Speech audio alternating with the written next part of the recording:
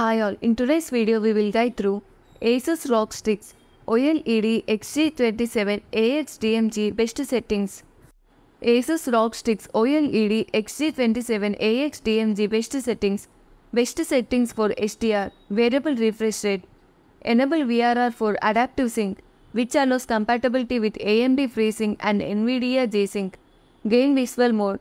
Use either racing mode or user mode for better control without additional filters. Brightness set to 56 for approximately 160 nits, suitable for most lighting conditions. Uniform brightness enable these settings to avoid aggressive automatic brightness adjustments. Color settings color gamut use wide gamut for a full native color range.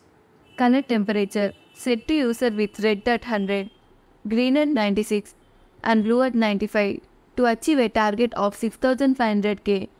Gamma adjust to 2.04 better overall performance. Best settings for HDR brightness set to 100 to unlock full brightness capabilities, allowing for a peak brightness above 1100 nits. HDR modes Game HDR recommended for a dynamic experience with maximum brightness. Cinema HDR similar to Game HDR but may work better for movie content. Console HDR supports HGIG for improved tone mapping but is limited to around 700 nits. Additional tips for HDR you can adjust the brightness setting based on personal comfort but keep in mind that the PQ curve is optimized for a brightness setting of 90. Visibility enhancement FPS mode this mode can enhance visibility in darker scenes but it may affect overall image quality.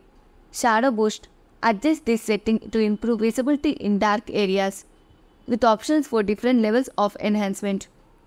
How to update Asus ROG Strix OLED XG27A QDMG firmware. Visit the official Asus support page. Go to the Asus support website for the ROG Strix OLED XG27A QDMG model. Download the firmware. Locate the firmware section on the support page. Download the latest firmware version available for the XG27A QDMG. Thank you for watching our video.